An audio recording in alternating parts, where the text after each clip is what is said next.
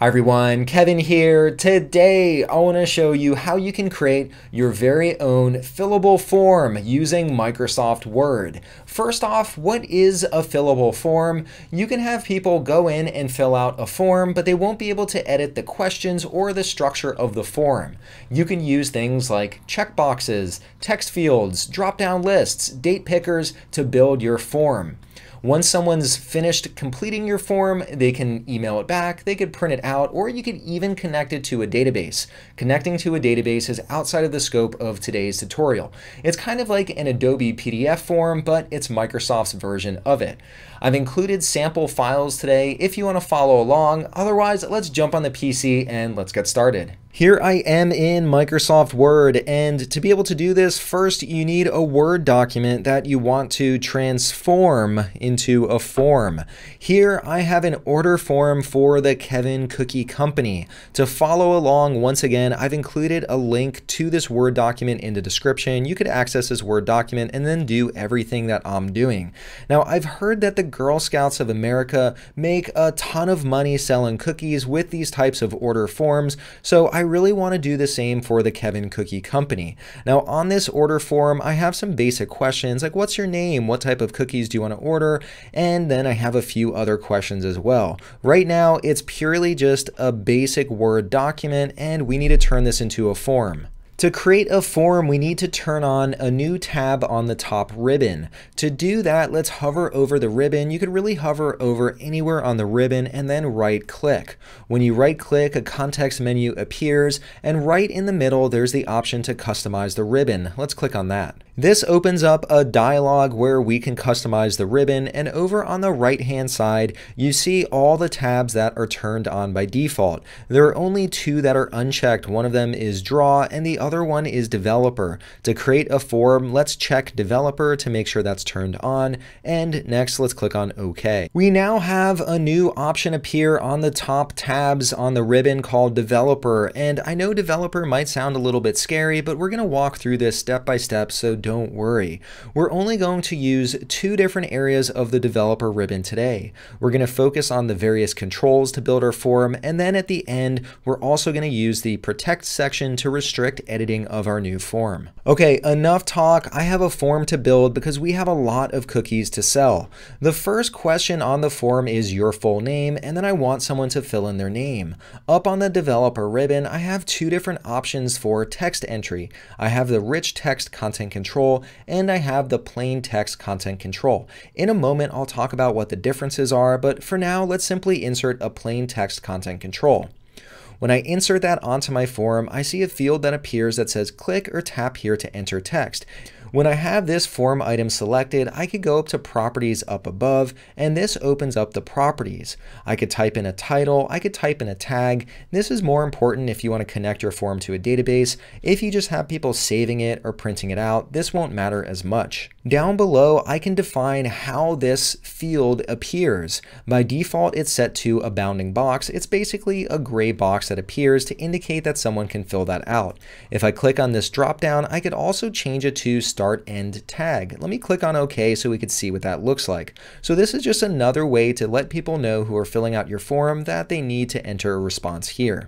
I like the default option of bounding box, so I'm going to leave it set to that. I could also go through and I could customize what my box looks like, and I have a few different controls on the bottom. For now, I'm going to leave those all as is and click on OK. For the next question on my form, I want customers to indicate what type of cookie they want and also the quantity.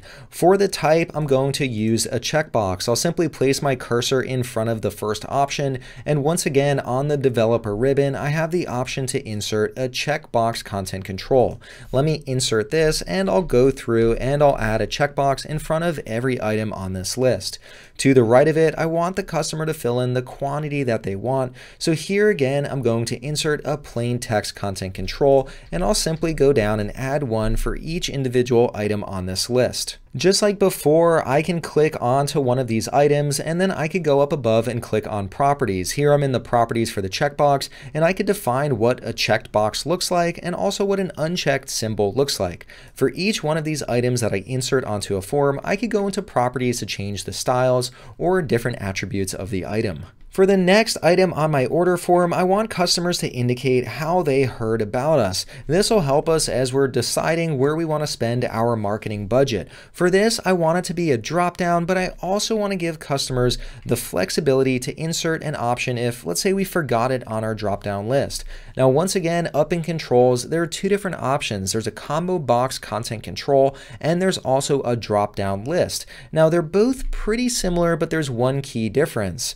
With the combo box content control, a customer can also type in their own option, so they're not just limited to the options that I have on the drop-down list. Let me insert a combo box content control. I've now inserted my combo box content control, but when I click on this, I don't see any items in here. Just like we did before, we want to go up to the top and click on properties. Within properties down at the bottom, I could define what items appear in the drop-down list. Let me type in a few items. I've typed in a few different items, and surprisingly, we've gotten a lot of customers from tutorial videos on YouTube. They keep telling us they find us from tutorial videos.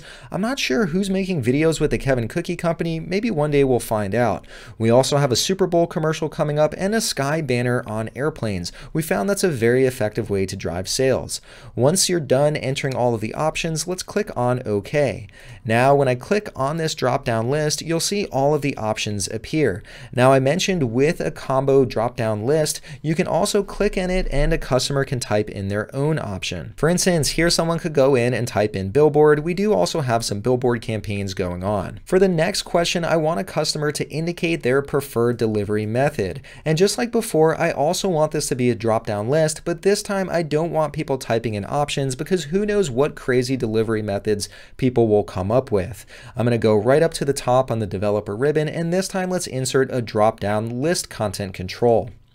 When I insert this, right now there's nothing in the drop-down list, and once again, let's click on properties and we could define what appears in this drop-down list. This opens up the drop-down list or the content control properties, and at the very bottom, I could define what items show up in the drop-down list. Let me add a few items. I've added a few items to the list, and these are our best delivery methods. You could get cookies delivered by drone. We also have the pneumatic tube system, and then also it's a little old school, but it works extremely well. We also have pigeons.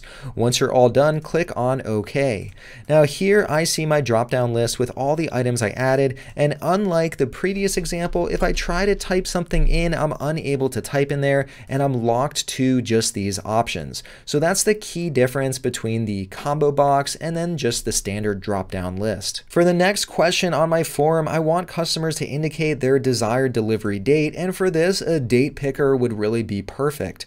Up above on the developer ribbon, over under control controls, there's the date picker content control. Let's click on this. This inserts a date picker and when I click on the drop down here, I see a date picker appear. Here too, if I go up to properties, I have a bunch of different properties that I could set. I could define how the date looks, what locale it is, what calendar type I want to have appear. All of the defaults look good to me, so I'll click on OK for the next question, and it might be a little awkward for an order form, but if someone includes a photo of themselves eating a cookie, they'll get a $1 discount. We need more pictures of people eating cookie for our marketing campaigns, and paying a dollar seems like a good trade-off. Up above, once again on the developer ribbon, there's the option to insert a picture content control. When I insert that, it inserts this rectangle here, and if you click on the middle box, a customer going through and filling out this form can then insert a picture from their computer. The next question is another optional question, and we need help coming up with a new slogan for the Kevin Cookie Company. You'd be surprised at how much time people spend brainstorming slogans for us in return for a $1 discount. For this one, I want to insert a rich text content control, and I'll also highlight what the difference is from the plain text. Here, let's insert a rich text content control. For the next one, with the sales rep number, I'm simply going to insert the plain text content control. I entered some sample text into the slogan field and I also simply pasted the text down below in the sales rep number field just to show what the difference is between the two of them.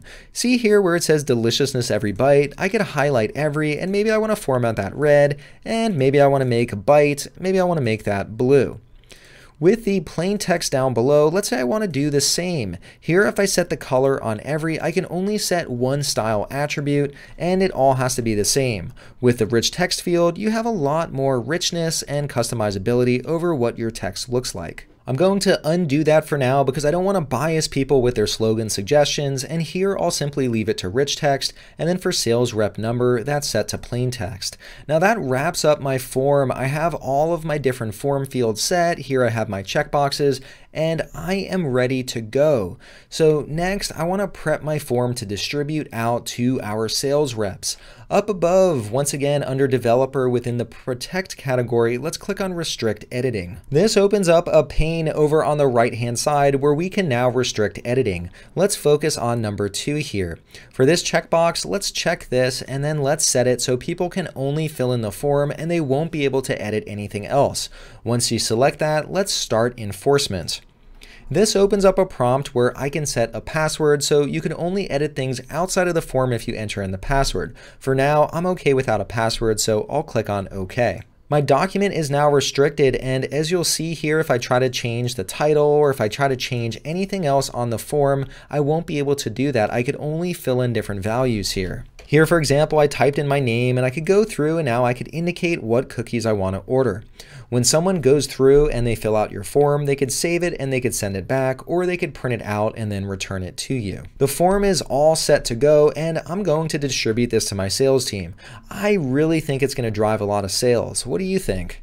All right, that was a quick look at how you can build a fillable form in Microsoft Word. If you now know how to build your very own form, please give this video a thumbs up. To see more videos like this in the future, hit that subscribe button. If you want to see me cover any other topics, leave a comment down below. All right, that's all I had for you today. I hope you enjoyed, and I hope to see you next time. Bye.